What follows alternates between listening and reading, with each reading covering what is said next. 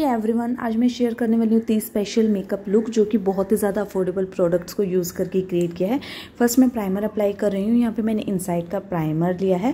फिर फाउंडेशन के लिए मैंने ब्लू हेवन का फाउंडेशन लिया है, जो कि जस्ट फोर्टी रुपीज़ में मिल जाता है। उसको ब्रश के हेल्प से अच्छे से ब्लेंड कर लेंगे। कंसीलर के लिए मैंने मेबलेन का कंसीलर लिया है, और ये कंसीलर बहुत अच्छा है। One of my favourite concealer है। देन पोन्स के लूज पाउडर से मैं कंसीलर को सेट कर लिया, और वहाँ वहाँ सेट कर लिया जहाँ पर मुझे ज़रूरत है। फिर थोड़ा सा ब्रॉन्ज अप्लाई करेंगे। ये शिवाना का ब्रॉन्ज़र है, ये वाला शायद अभी नहीं मिलता है बट बहुत अच्छा ब्रॉन्ज़र है।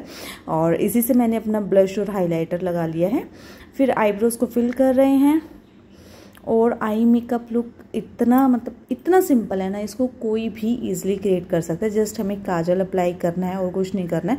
और जो ब्राउन शेड हमने एज अ ब्राउन्जर लगाया था, बस उसी को ही आईलेड पर लगा लेना है। कोई ट्रांजिशन शेड नहीं है, कुछ शिमर नहीं है।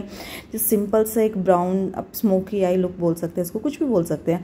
देन मस्कारे से लुक को कंप्लीट किया है और रेड लिपस्टिक लगाइए। आप चाहें तो यहाँ पे न्यूड लिपस्टिक भी अप्लाई कर सकते हैं। और है मेरा फाइनल लुक लुक कैसा लगा मुझे कमेंट सेक्शन में ज़रूर बताइएगा और चैनल पर फ़र्स्ट टाइम आए तो मेक श्योर sure आपने मेरे चैनल को सब्सक्राइब कर लिया है। वीडियो को लाइक ज़रूर करें। अगर कुछ भी सुजेशन हो तो मुझे कमेंट सेक्शन में बता सकते हो। मिलती हूँ आपसे नेक्स्ट वीडियो में। Till then bye take care love you